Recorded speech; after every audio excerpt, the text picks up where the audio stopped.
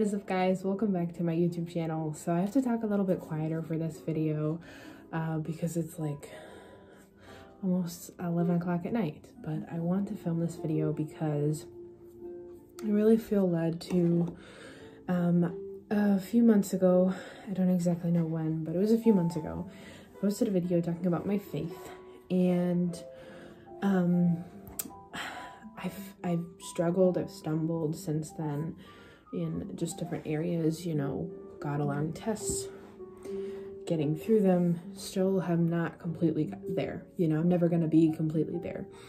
As Christians, we are constantly fighting the fight of faith. It says, I can't give you a chapter and verse, but it says um, in the word that we are to fight the good fight of faith, meaning that it's a constant battle.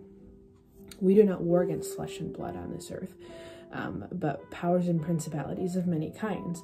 So to sit here and think that just because we're saved, we don't have to do anything and we're just, you know, everything's good. I'm a Christian. Okay, I get to go live my life now. No, that's not how it is. It's it's a fight. Um, and so I have not really um, lived up to what I said I was going to in posting more faith-based stuff.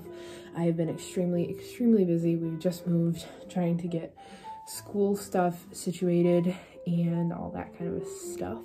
Um, and so it's been a little bit tricky trying to balance God, my dog, my family, moving, settling, my rabbit, everything. It's just been kind of hectic through that. And so, but I really, really want to sit down and film this video for you guys because I need to put something out there. And sitting down doing this video, I wasn't entirely sure what I wanted to talk about, but I think I know now what I'm going to talk about, and that is how important it is for Christians to pick up our crosses daily. I saw a video on this the other day. I will link it down below. Great video. Coffee and Bible Time uh, is a YouTube channel that I watch get a lot of inspiration from them. They're super, super sweet. Um, highly recommend watching their YouTube channel if you're a Christian, non-Christian, whatever. They're super inspirational. So yeah, I don't really know exactly where I want to go with this, like I said, but talking about how important it is for us Christians to live up to what we are supposed to be doing and picking up our crosses daily. And a lot of people don't really know what that means. Um, I will put the verse like right here of picking up our crosses daily, like that specific verse, uh, because I can't think of it right now. I'm foggy, brain fogged. I'm super tired, but I really wanted to film this, like I said. Um, this morning, I, sorry, last night, I found a verse. I was led to Isaiah 8, or 41, 8. And I'm going to read that to you. I'm going to read verses 8 through 14. This is what I read last night and I will try and put them up on the screen if I can. But thou, Israel, art my servant, Jacob, whom I have chosen, the seed of Abraham, my friend. Verse 9 Thou whom I have taken from the ends of the earth, and called thee from the chief men thereof, and said unto thee, Thou art my servant. I have chosen thee, and not cast thee away. Verse 10 Fear thou not, for I am not, for I am with thee. Be not dismayed, for I am thy God. I will strengthen thee, yeah. I will help thee, yeah. I will uphold thee with the right hand of my righteousness. Behold, all they that were incensed against thee shall be ashamed and confounded, and they shall be as nothing, and they shall strive with thee, shall perish. Verse 12 Thou shalt seek them, and shalt not find them, even them that contended with thee. They that war against thee shall be as nothing, and as a thing of naught. Verse 13 For I, the Lord thy God, will hold thy right hand, saying unto thee, Fear not, I will help thee.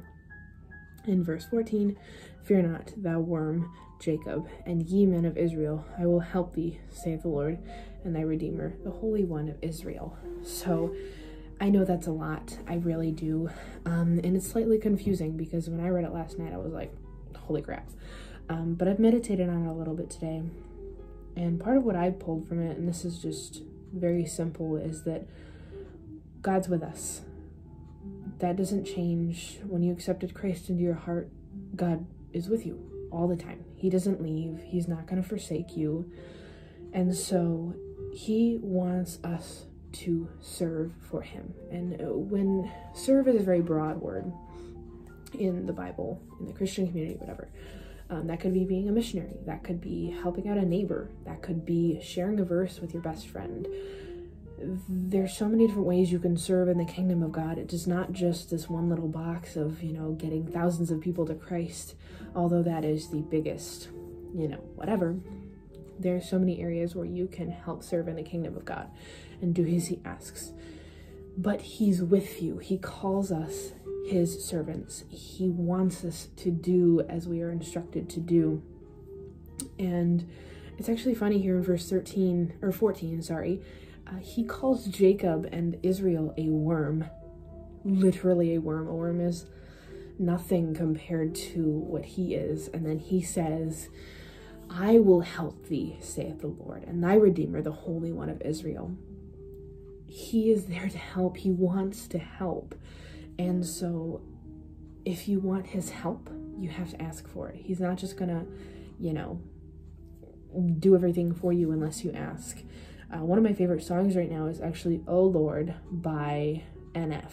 He's a Christian rapper, um, which I know I don't seem like the type of person that would like Christian rap because I really don't but his songs are okay.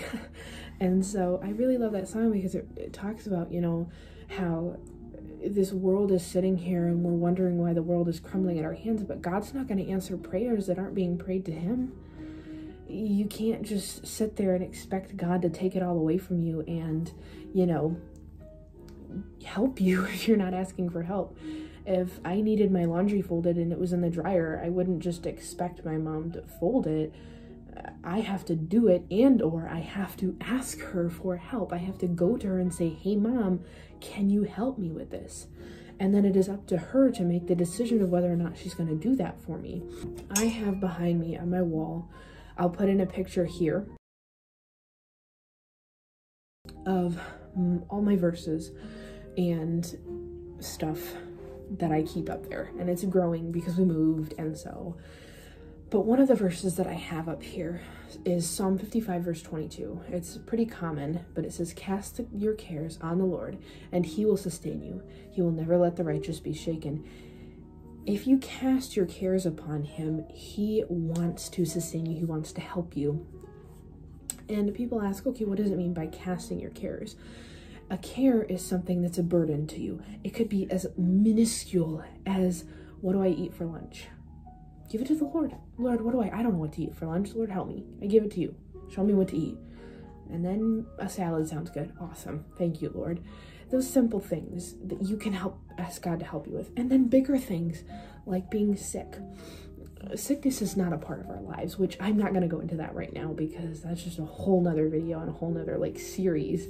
Um, so if you guys want to see anything about healing, um, let me know in the comments down below.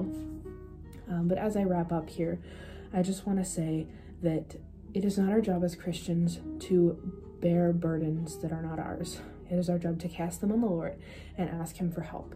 And it is our job to be on this earth to serve for God and to do as He asks. But to do that, you have to pick up your cross daily. Get into this. Not on your phone, not, you know, on Google. pick up your Bible. And if you don't have a Bible, go buy one. They're super cheap at the dollar store.